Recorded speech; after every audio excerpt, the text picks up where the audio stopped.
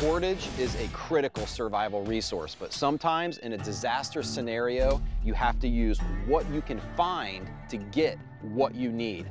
I'm gonna show you how to make incredible survival cordage out of scrap two liter bottles. It all starts with making a jig from a sapling stump.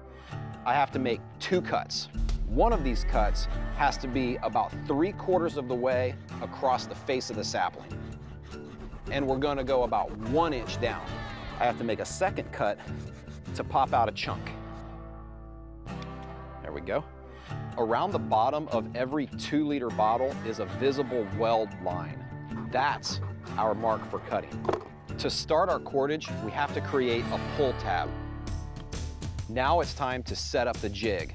We're gonna drive our knife into the notch that we've cut out. We're gonna put our two liter bottle into our saw slot and feed our pull tab underneath the knife blade. Once you've fed through your pull tab, all you have to do is pull. And now I'm making feet and feet of really strong, usable cordage out of plastic two liter bottles. Check that out.